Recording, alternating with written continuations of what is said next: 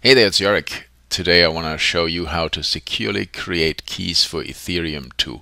I've mentioned this a couple times in other videos, like uh, using a live CD, booting from it, using deposit CLI, everything's gone after, etc. yada yada. Um, if that is enough and you already know what to do, then you're done. Otherwise, I'm going to try and show this to you. Uh, going to be a little interesting. We're going to do this uh, in a very live way. I'm going to download Ubuntu, put it on a USB stick, boot from it, and hope I can record on the other side. All right, let's get going. Uh, I'll learn how to fast forward too. Yay. Download Ubuntu Desktop because it's easy. That's really the only reason. There it is. then we're going to grab Rufus to um, write this. The instructions for this, by the way, are over here. Create bootable USB stick on Windows on the ubuntu.com site. So we want Rufus. All right, install that. And it's gonna go onto this thing right here. All right, I'll be back just as soon as my Ubuntu is downloaded. All right, Ubuntu downloaded okay. I just hit this select button here, grabbed my Ubuntu AMD ISO everything else can stay the way it is. Um, and I want it on this uh, stick I have here, right? So I'm going to just start that. Um, new versions of SysLinux, do you want to download? In this particular case, yes, I do. And write in ISO image mode is the right option here. And all data will be destroyed, which I am okay with. Okay, I'll be back when this is done. Right, so while that's getting ready, I've uh, prepared myself a second USB stick um, that I will use to transfer the files off, so, or the, the keys off. So this uh, live CD here ex explains how this works. Everything in a live CD or live USB, same difference, um, is gone after you shut the machine down. So for permanence, I'm just gonna use a USB stick and mount that in Linux so I can um, I can take the keys, the key store M files and the and then the deposit file and put that on here and then I can move it off from there. So the writing is done. I will reboot on this. Uh, your UEFI BIOS will determine how this works. There's usually a boot menu that allows you to choose what you're booting from. So you want to boot from this USB stick. Uh, that will be a read-only file system. You will, however, be able to um, install applications as usual. I got myself this uh, little link here or this little text file that has a couple useful links, including where to find ETH2.0 deposit CLI that I will mount and then write everything to. All right, I'll be back. All right, here I am in Ubuntu using Vokoscreen. Hopefully this works to record. Um, I just chose to boot Ubuntu and then instead of uh, install Ubuntu, try Ubuntu it will automatically um, mount the USB drive I had. So here it is with the ETH2.0 deposit link. And I am going to um, use ETH2.0 deposit CLI to create a mnemonic and uh, and create keys, right? And do all this securely. So there's a couple things I need to do here. First I need to grab this and then I need to disconnect my machine from the internet entirely.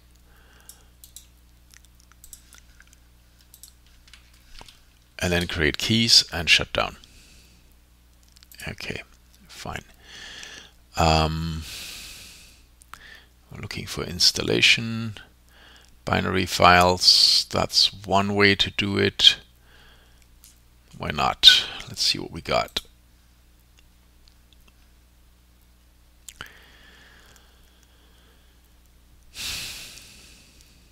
Linux AMD 64 that's what we're doing. Open that with archive manager. Why not?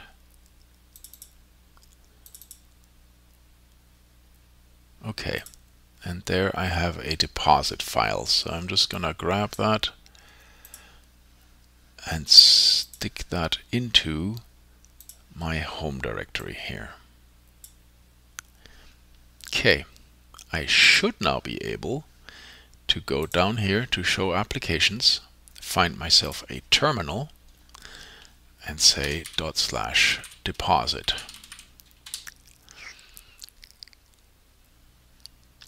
And that's working. So deposit new mnemonic. But before I go any further, I need to disconnect this machine from the internet. So Intel Ethernet connected, turn off. All right, I have no connection. Verify that. Ping 8888. Nope, network unreachable. All right, perfect. So I am completely offline. Dot slash deposit new mnemonic. I'm obviously not actually going to use this, so I'm chill showing it to you, right? And I'm going to make this a little bigger. English is my language. I wish to run how many ever validators you want, right? Um, let's say one. I should also say if you are um, if you already have a mnemonic, you can run this with existing mnemonic, and then it will prompt you for your index. That's how many validators you already have. So say you have one, index is one, and you want an additional one, then one additional. So index one and one additional. All right, mainnet, sure. Type the password that secures your validator key stores. So that's the one for the key store dash m files.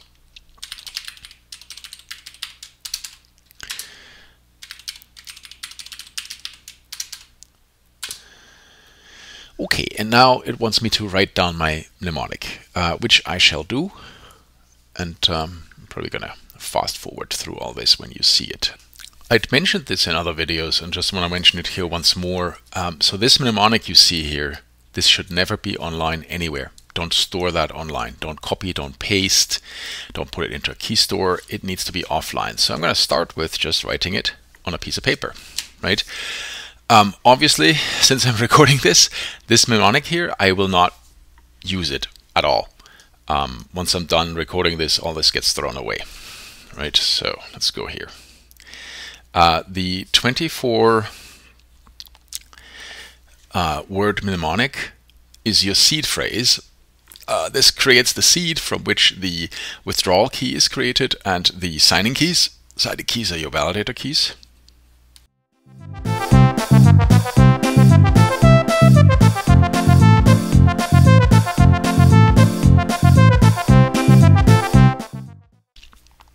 Now that I've written this down, I can press a key and it will ask me for it again.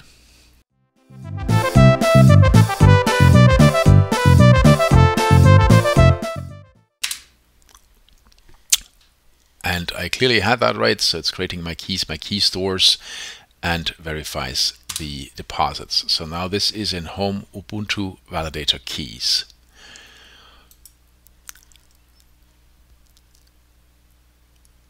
There it is. So I'm going to grab this entire validator keys directory and I'm going to copy it over here into my USB drive. And what's in here is a deposit data JSON and a key store M. The deposit data, this is all public data. So you see here the pub key, the withdrawal credentials, the amount 32eth, and the signature. This is what you use in launchpad.ethereum.org. And this key store M file here, this is the signing key, and uh, that's encrypted with the um, password or passphrase you set for it when you created this, right?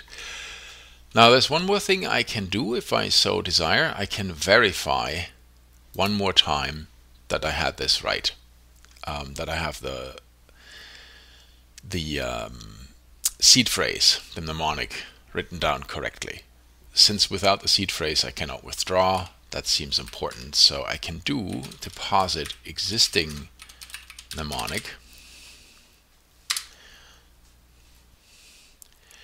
And it's going to ask me for my mnemonic.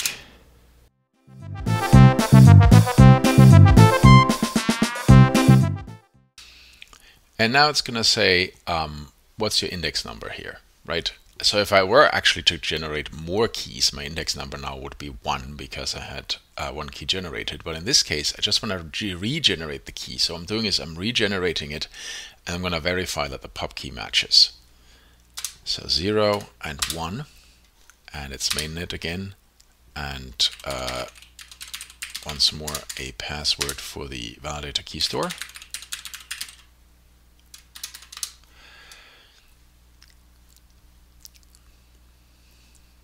Okay, so now what I can do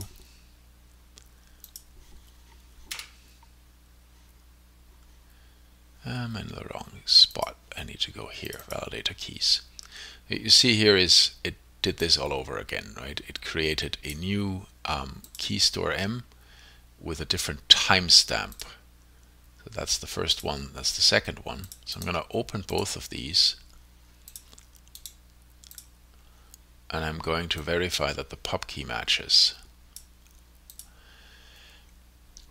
So what I expect to see here is a different salt and thus a different um,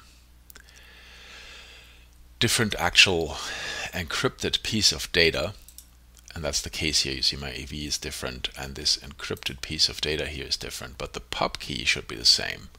So it starts with B80389 there we are and ends in 80EB8AD 80EB8AD right? So I have my um, seed phrase correct and I have verified that I can recreate this key store M if I need to. Alright great. That's all she wrote um, since I have my original files on here in validator keys I can now shut down this machine at which point everything I created is gone with the exception of what I put onto the USB drive. And I am back on Windows on the same machine. Uh, side note, because of the way that Linux handles the system clock, the hardware clock, you'll want to come in here and do a dated time settings and then uh, sync now after you boot back into Windows because otherwise this will be set to UTC time. Right, that's the default Linux behavior that the hardware clock is set to UTC, whereas the default Windows behavior is that the hardware clock is set to your time zone. Okay, that having been said, here's my Ubuntu. Um, just want to show you that everything is gone. You see there's no home directory here, and if I search, say, for validator, Remember that was the name of the directory. There's nothing here, right? This USB drive has my validator keys directory that I copied here with the deposit data JSON. This I would now use in Launchpad, deposit my 32Eth, and um, after that the deposit data JSON should be deleted so you're not um, double depositing. And then the key store M you want to keep safe. This is an encrypted file already. So you can just leave it on a USB, maybe with a backup somewhere. Um, you also want to record the password for this. Um, if you watched previous videos, I like KeePass with a password database on a USB drive or on like a DVD or something, right, um, where it can be gotten to. Okay, that was really everything about securely creating keys for Ethereum 2 on a completely offline machine so that there is no um, danger of compromise. Thank you.